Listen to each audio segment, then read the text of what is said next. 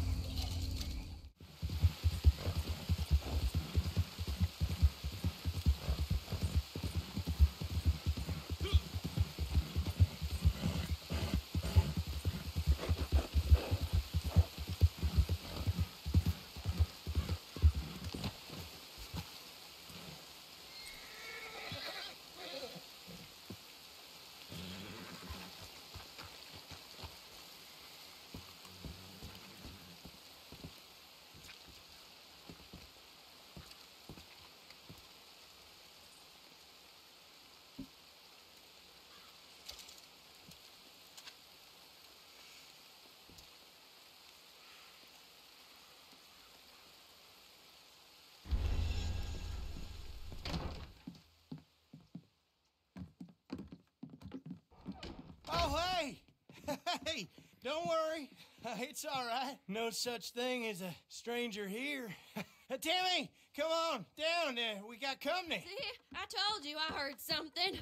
Well, ain't this a rare treat? Are you hungry? There's some stew in the pot.